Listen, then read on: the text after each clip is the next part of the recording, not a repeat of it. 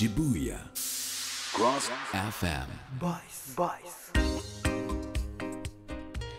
皆さんこんにちは2024年9月25日水曜日時刻は午後3時を回りましたここからは渋谷ボイスお送りしていきます観覧に来てくださってる皆様もありがとうございますお相手はフリーアナウンサーの田中彩瀬ですどうぞよろしくお願いいたします今月、えー臨時で渋谷ボイス担当させていただいておりますとお伝えいたしましたがなんとですね、えー今後第2第4水曜日の渋谷ボイス担当させていただくことが決定しました。ありがとうございます、えーこのね私私だからこそ伝えられるようなちょっと若い世代からの、まあ、いわゆる Z 世代から見た渋谷だったりとか、まあ、あの他の渋谷ボイスと同じように渋谷の最新イベントトレンド情報などを伝えていきたいと思いますのでどうぞよろしくお願いします。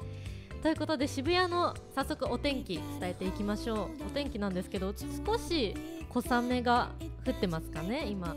なんか傘を差してる方差していない方それぞれいらっしゃってあのまあお天気でも曇りとちらほら小雨が降るとのことでした。で、えっと、気温も24度最高気温が24度というふうに、えここに来る前の情報では出ていてですね。まああの一般的には長袖でいい感じかな。長袖1枚であの半袖の方は薄い上着を1枚と言われている、えー温度なんですけれども少しね肌寒く感じたのでもしこれからお出かけする方は上着などをお持ちいただいた方がいいかなというふうに思います。私はねいつもいつも折りたたみ傘を持ち歩いているんですけどいるんですけどとか最近最近持ち歩いてるんですけどちょうど今日あのいいかなって置いてきた日にあの小雨に降られましてねありがとうございます。そうそう。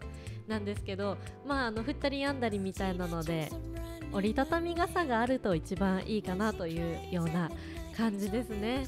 あのちょうど本当に今日から昨日からここ数日で一気にあの秋の気温といいますか少し温度がぐっと下がったような感じです。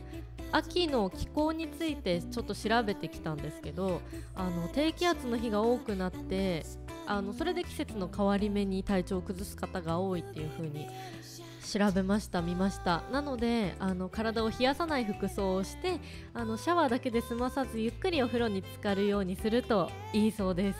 季節の変わり目になりますのでね皆さん体調にお気をつけてお過ごしください。はいということでここで渋谷ボイスどんな番組なのかご紹介いたしましょう。渋谷の今を体感して渋谷の街に繰り出そうをテーマに渋谷の最新トレンド情報やイベント情報ビューティーヘルシー情報などなど渋谷界隈の情報を満載にしてお送りいたします。そして本日後半のゲストコーナーではなんと、えー芸人メタルバンドヘビーメタルサンダーさんにお越しいただいてます。さあ後半どんなお話が聞けるのか。まああの今ね隣で m 1だったりとかもいろいろやっていると思うんですけれども芸人さんねあの今日登場していただきますのでお楽しみにしていてください。さあそしてまたこの番組では皆さんからのメッセージも募集しております。メールは info at 渋谷クロス FM.jp info アットマーク渋谷クロス FM.jp です。それでは3時50分までの50分間どうぞお付き合いください。まずは本日のオープニングナンバー参りましょう。セリナネバーギブアップ。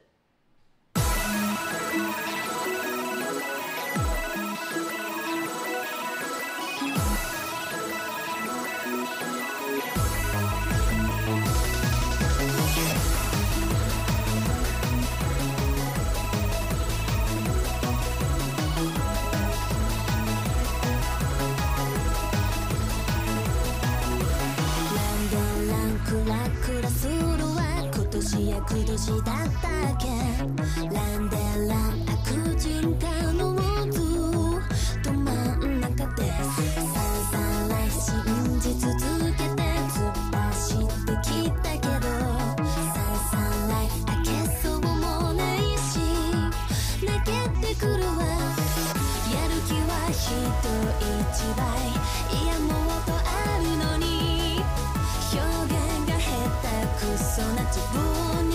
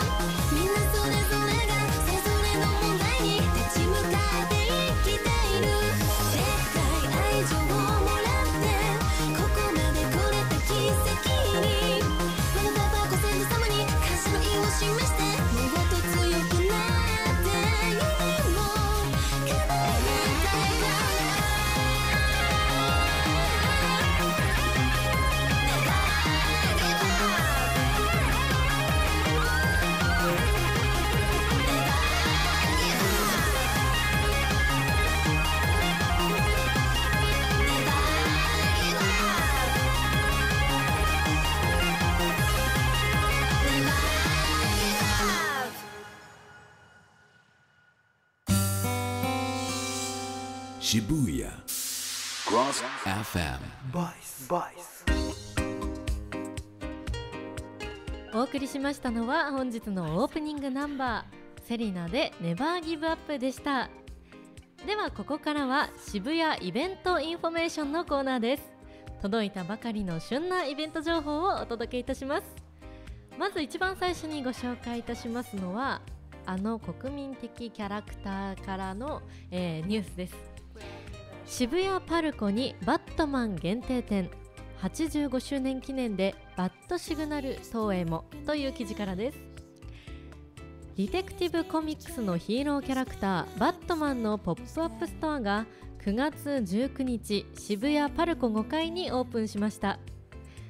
バットマンは1939年のディディテクティブコミックス27号で初めて登場しコミックやアニメ映画などで描かれ世界的に知られています。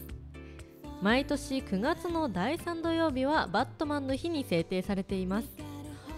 ポップアップストアは85周年を記念したものでアパレルブランドミンダンシーの T シャツやメンズファッションブランドブランクネームのジャケットジュエリーブランドアガットのカレッジリングなどバットマン85周年を記念したファッションアイテムを販売。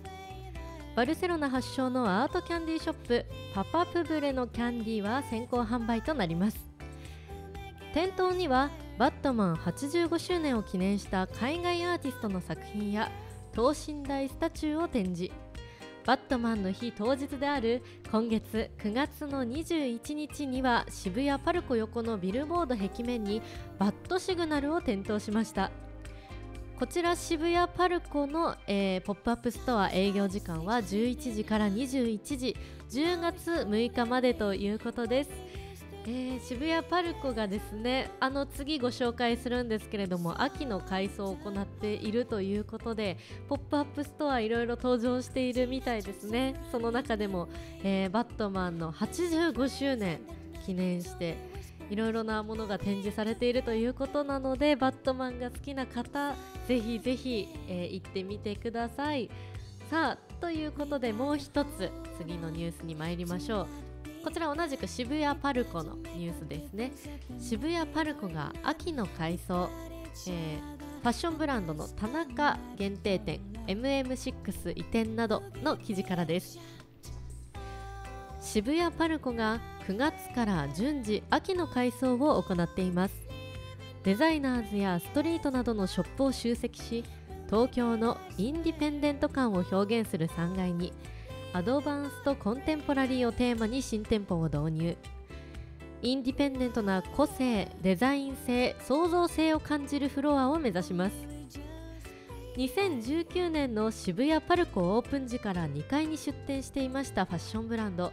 MM6 メゾンマルジェラは3階に移転。面積は国内最大の店舗となる93平方メートルでウェアやアクセサリーシューズレザーグッズジュエリーなどウィメンズとメンズのアイテムをフルラインナップしています。ユニセックスの国内ファッションブランド田中は初の店舗として2025年1月31日まで出店。こちらのブランドは幼児山本やファーストリテイリングに勤務した経験を持つさより田中さんが2017年にアメリカ・ニューヨークでスタートさせました。東京を拠点とするデザイナーが世界でビジネスなどを拡大するためのサポートを目的とした東京ファッションアワード2023を受賞したほか2023年に東京で初めてランウェイショーを行いました。ウィングス自由の翼をテーマにした2024年秋冬の新作を中心にジャパンデニムやレディートゥウェアポップアップ限定品などを揃えます。こちら渋谷パルコで行われておりますポップアップはドレスブランドホーガこちらが9月23日で終わってしまったんですけれどもドレスブランドのホーガさんそして、えースペインマヨルカ島初のシューズブランド、えーカンペールのエクスクルーシブラインカンペールラボ初の限定店。こちらは10月27日までなどが出店しています。そしてさらに、えー今日まで出店しているイギリス・ロンドン初のジュエリーブランドバニー。こちらは1階に本日まで出店しておりましてそしてイタリア初カジュアルブランドディーゼル。2階こちらは9月の21日から10月14日まで、えーなども限定店をオープンしているとのことです。渋谷パルコで営業時間は11時から21時とのことです。たくさんの、えーまあ、秋の改装でですねたくさんの、えーファッションブランドだったり海外からの初のブランド海外初のブランドもたくさんたくさんポップアップを、えー出展されているようです。ちょっとねあのドレスブランドさんだのホーガさんだったりとか、えージュエリーブランドバニーは今日までだったりするんですけれどもカジュアルブランドのディーゼルさんとかイギリスロンドン発あ違いますね。そうシューズブランドカンペールラボなどが出展されているとのことです。ありがとうございます。渋谷パルコここのスタジオからもですね、えーもう歩いてすぐそこに見えるところにありますので皆さんぜひ、えー行ってみてください。はいということで本日の2曲目ご紹介しましょう。ヨノアで Always Be With You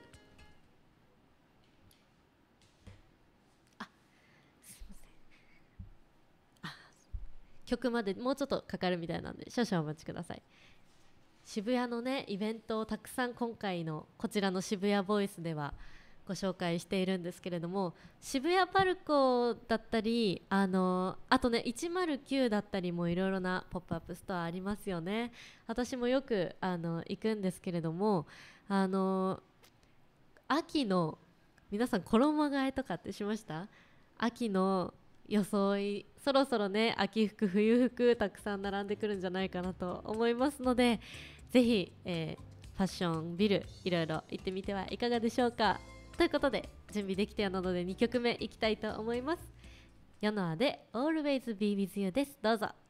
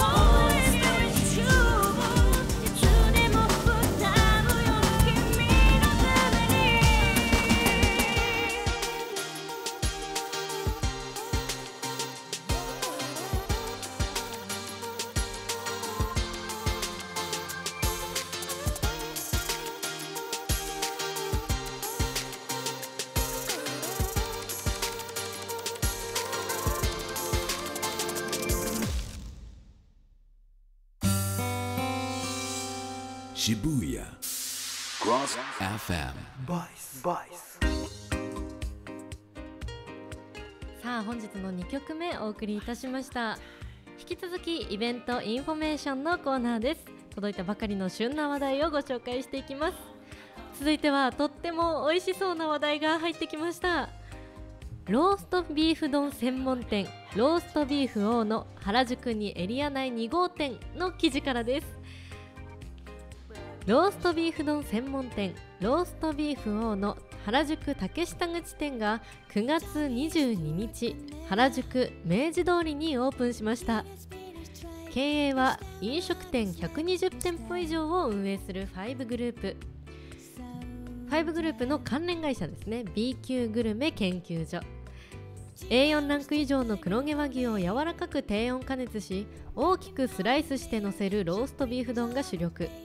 2015年10月秋葉原に1号店をオープンしそして原宿エリアには2016年4月明治通り沿いの商業施設 YM スクエア地下1階に原宿店を出店。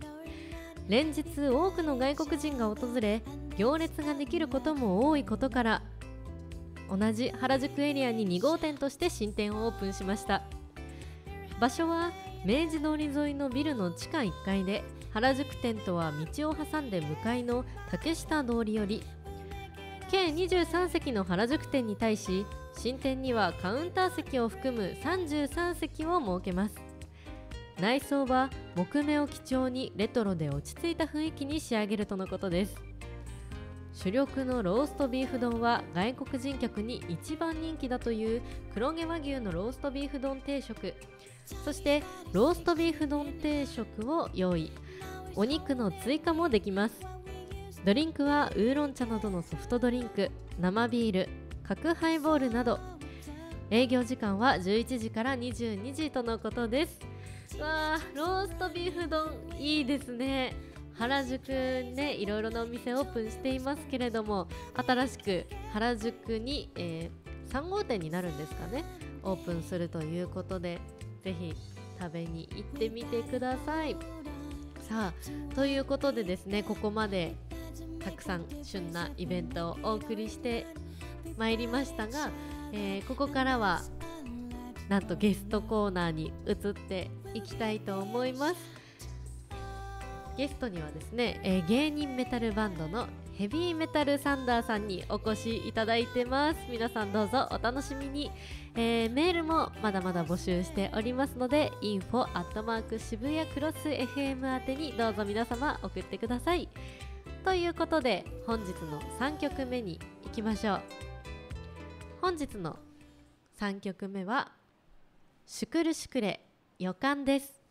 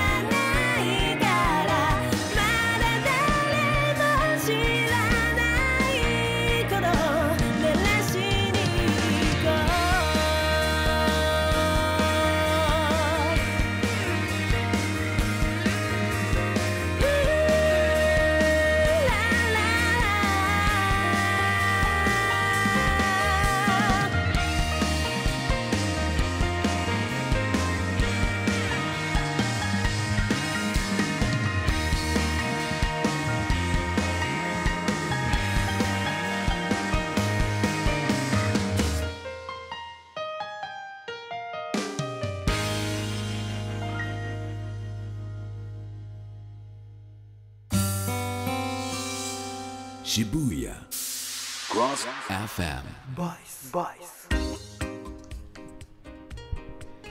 はい、えーお送りしましたのはシュクルシュクレ予感でしたではここからは皆さんお待ちかねゲストコーナー入っていきたいと思います本日、えーお呼びお越しいただいたのはですね現在大人気活動中のご活躍中の、えー芸人メタルバンドヘビーメタルサンダーの皆さんですよろしくお願いしま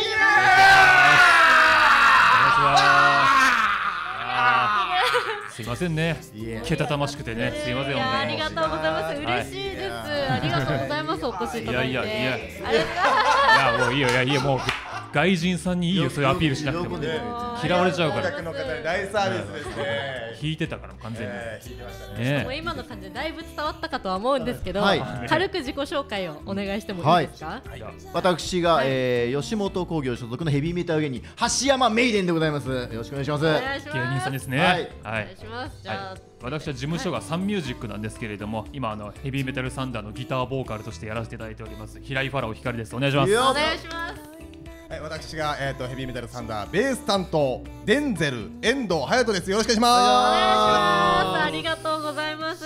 あのスタジオの前にファンの方もお越しいただいて、ね大勢のファンの方が。ありがとうございます。150人ぐらいねありがたいねかかっちゃうかなやばいやばい怖い怖い怖いいやーこっちからの景色初めてだわ。もうよく通ってはいましたけど。そうそうそう。よくねやってるから、うん。す。はねなんか外からねあのお写真撮っていただくこともできますので、もしよかったら全然撮ってください。写真撮ってください。はい、ありがとうございます。で本当はドラムがねいるんですけどあそうのもう一人メンバードラム岩橋というのがいるんですけどちょっと今はい日来れずということで、今日これ帰国しましたとい。うことではいそうですね。本国にはいい。北海道海道の方に帰国しました、はいということで、本日はそのメンバーの3人の方で、えーお送りしていきますので、うん。よろしくおお願いします。そしてですねなんとメールもいただいてる。あらまあありがたい。ありがたい。ちょっとお読みさせてください、はい。えーペンネーム塚尾さんからいただきました、はえーメイデンさんそしてヘビーメタルサンダーの皆様渋谷ボイスご出演おめでとうございます。ありがとうございます。初ラジオなんでね。初29日の単独も迫ってきましたね。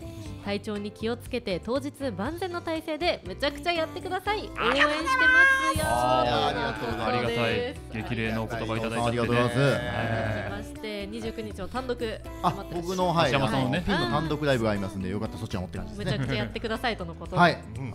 はい。よろしくお願いしお願いします。お願いします。じゃあちょっとあのもしかしたら今日の番組で初めておあのヘビーメタルサンダーの皆さん見たよって方もいるかもしれないので、まあいるのかわかんないですね。ほんとみんな知ってるかもしれないもしかしたらもう全人類知ってるかもしれないんですけど、ね。うん。あの一応軽くバンドのご説明だけお願いしてもいいですか？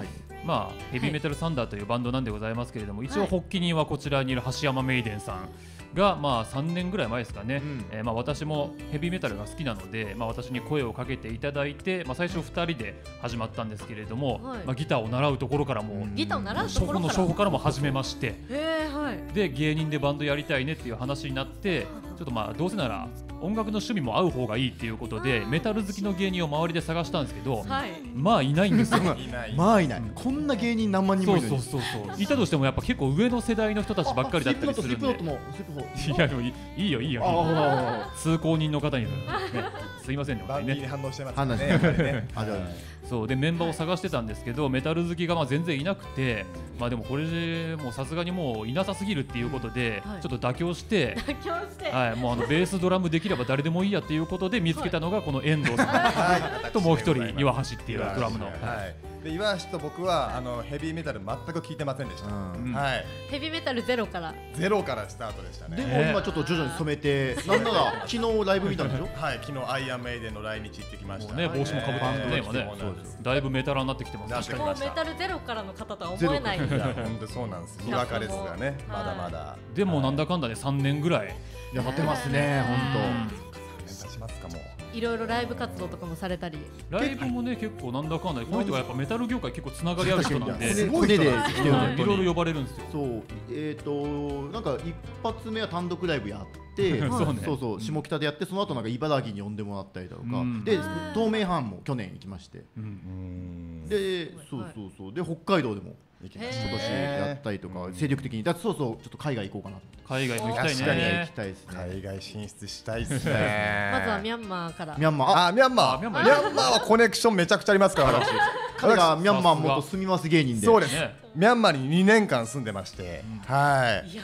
ミャンマーで絶対受けるギャグがあるんでしょおあはい。じゃあちょっとよろしいです全か然渋谷ですけど、あお願いしミャンマーでは受ける。まあミャンマーでミャンミャンマーの方がいることを願って、はい、はいい、きます。えーミャンマーで絶対に受けるギャグ。アシェイジ。どういう意味？あ、これあの背が高いって言ってます。はい。自己紹介じゃない。普通。背が高い。普通のこと言ってる。それでも受けんだよね。はい、これはもう大爆笑、大爆です。はい、大爆です。はい。ミャンマー大爆笑大爆笑。でミミャンマーも決定でお願いします。はい、お願いします。行きましょう、お願い。し行きましょう。ます。ありがとうございます。すごいな、なんかミャンマー住みます芸人だったりとかも、いろいろご活動されてらっしゃって。そうですね。まあでもあのはい。全然、まあヘビーメタルってやっぱあの技術がすごい高いジャンルなんで、うん。はい。やっぱね難しいんですよ。最初はそれこそまあはい。カバー曲とかアイアンメイデンとかオジー・オズボーンとかやってたんですけど。やっぱ難しすぎるんで、うん。どうしてもやっぱカバーだとオリジナルと比較されちゃうじゃないですか。バレちゃうんでね。そう。下手なのがバレちゃうからもうなんとか頑張って今オリジナル曲ばっかり作るようになっていやすごいんですよ。そう作詞作曲？作詞。作詞作曲はい一応やってるんですけど、はいまあ、それでもやっぱりちょっと全然まだまだ技術がやりたいことに追いついてないってのもあるから、はいまあ、普通ライブ出た時まあ持ち時間30分ぐらいあるんですけど半分ぐらいはトークしてます。そうですね。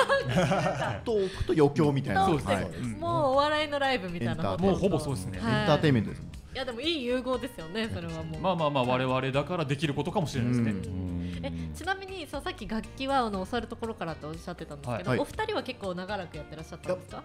僕もファダさんと一緒で、うんそのお教わるとこからなんか自己流でギター持ってたんですけど、はい。あのやっぱ最初のイントロはいけんですよ。やっぱその後ちょっと難しいギターソーとかこういうのが入ると、はい。そこで挫折してやっぱりやめちゃうみたいな。で結構曲的に曲というかジャンル的にギターソロがすごいかっこいい重要みたいな。まあそうですね。めちゃくちゃあります。メタルはギターメタルはギターソロ重要ですからね。って聞くんですけど皆さんそのは教わるところからスタートして。う。ん、もうそこで初めてエレキは触りましたね。アコギは昔ちょっとやってましたけど、遠藤さんは？あ、僕もあの中学校の時ちょこっとヤマハの音楽教室に通ったぐらいで。やって。た？初耳なんだけど。あ、いやもえう半年です。半年か。半年でもうすぐに辞めちゃいました。ベーはい、ベースのあベースベースで、はい、だってだから基礎は若干できましたけども、もう本当十数年ぶりにこのバンドでやったみたいな感じですかね、はい。だいまだにだって自分らの曲でもはい。ちゃんと完璧に弾けたことないですそう。からあそうです。勝手にあ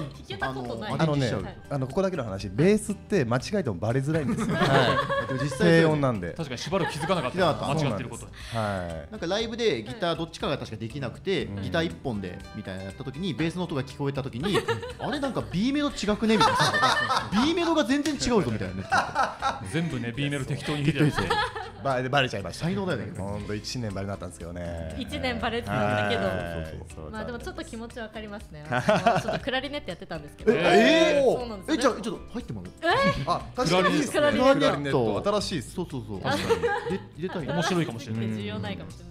でもサックスの音にかき消されてバレなきゃいいや精神ちょっと。ああー仲間という。強い音にね、やっぱりね行かれますから。そうなんですよね。まあ支え合いですからね。はい、はい。その皆さんがあのはい。今日ね曲流していいっていう風に。あらまあ。曲のあの恥ずかしい曲を全国に流しちゃうんですか？はい、ぜひ聴いてほしいです。もう曲。聞いてもらいましょう、渋谷の皆さんにねね。そうそれどういう曲なのか、どどのあたりが聞きどころだったりとか。全部。一応、まあ、はい。その我々がオリジナル曲を作ろうってなって、はい。一番最初に出来上がった曲なんですよ、へー。はい。だからまあデビュー曲。デビュー曲。デビュー曲。ええ。橋山さん作のはい。もう結構メタル前とした曲、はい。そうですもう。だからまあそのヘビーメタルの、まあ、こういうイメージみたいのを詰め込んだような曲なんじゃないかなってういう、ん。なんか映像もありましたよね。そうなんですよ。PV を。頑張って PV 撮ったんですよ。森で撮りました森で。森ヘでビーメタルって言ったら森なんでやっぱ。ゴキブリだらけの森で撮ったんですよ。本当にいましたマジで。森ゴキ。じゃあちょっと早速なんですけど、はい。はい PV 流していただこうと思います。じゃあちょっと曲振りじゃあメイデーさんからありました。えー全人類のヘビーメタルの怒りを込めた曲ヘビーメタルモンスター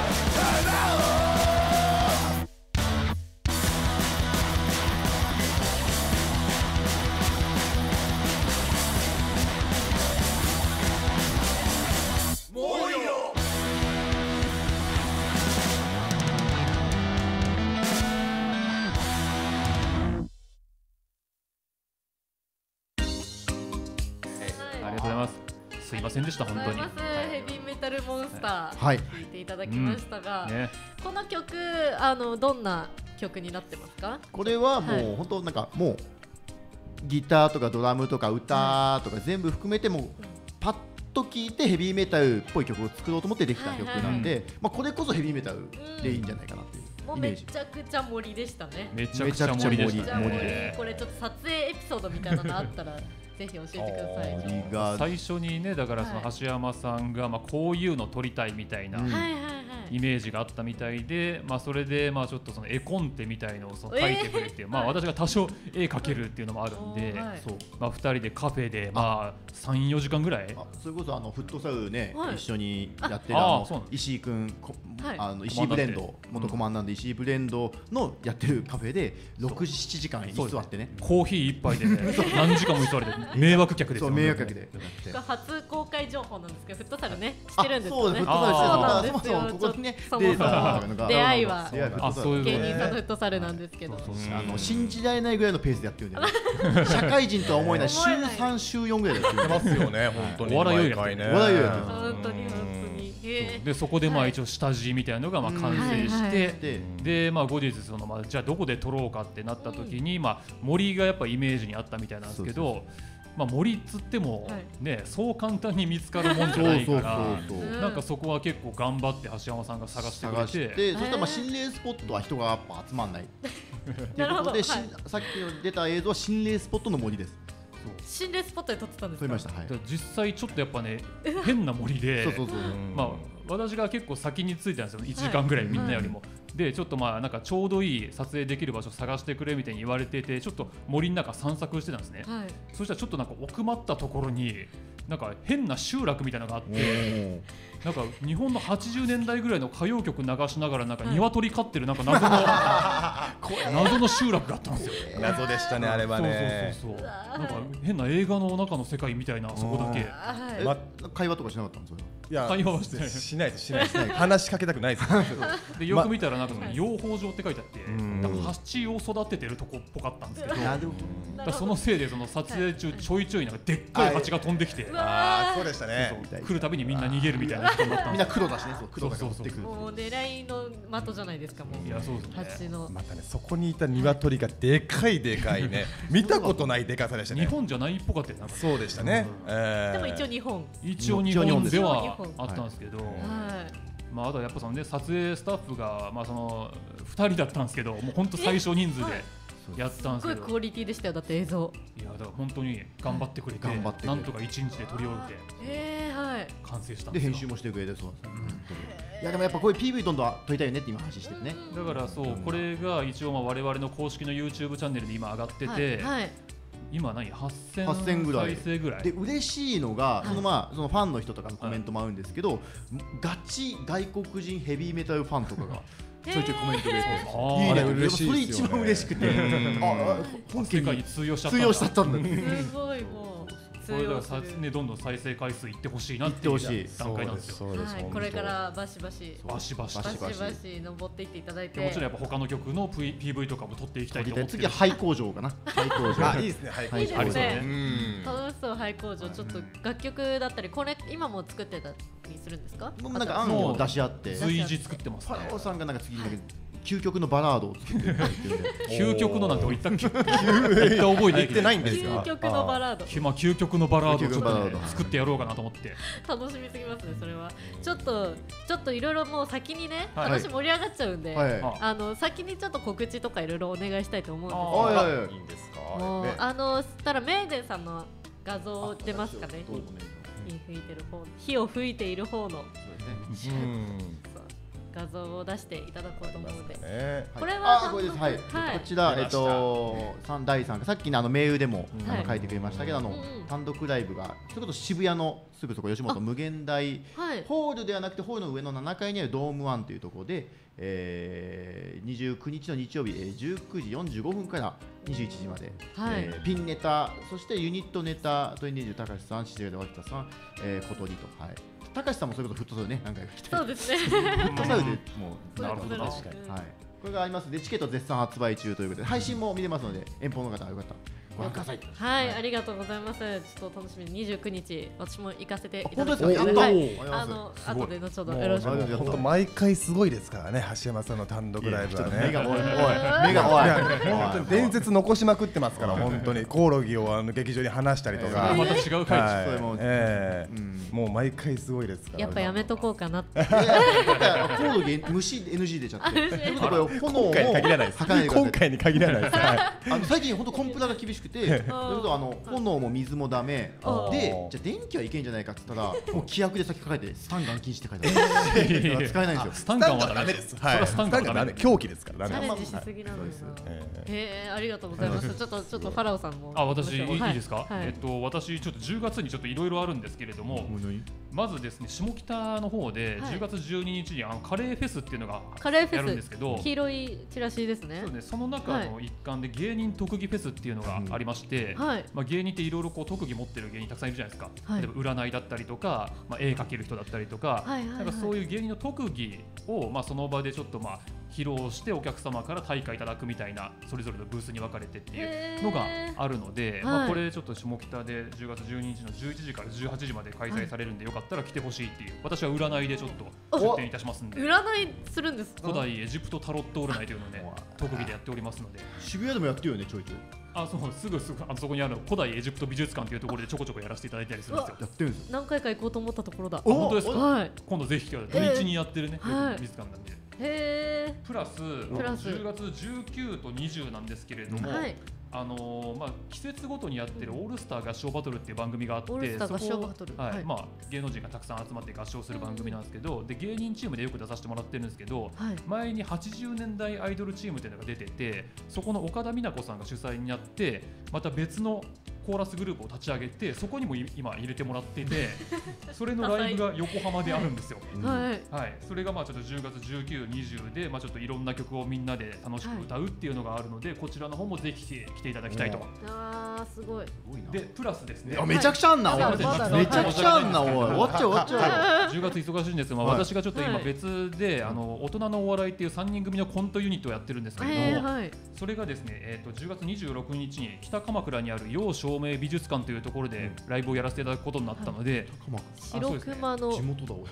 あ本当？結構 静かで落ち着いた感じの雰囲気の美術館なんですけど、はいそこでちょっとまあ我々がやってるのも割とそういった方向性のコントだったりするので、そこでちょっとやらせていただくんでよかったらー入場料だけで見見れますんで、すごい。はい、ぜひいただきたいおすごい。入入入館料600円。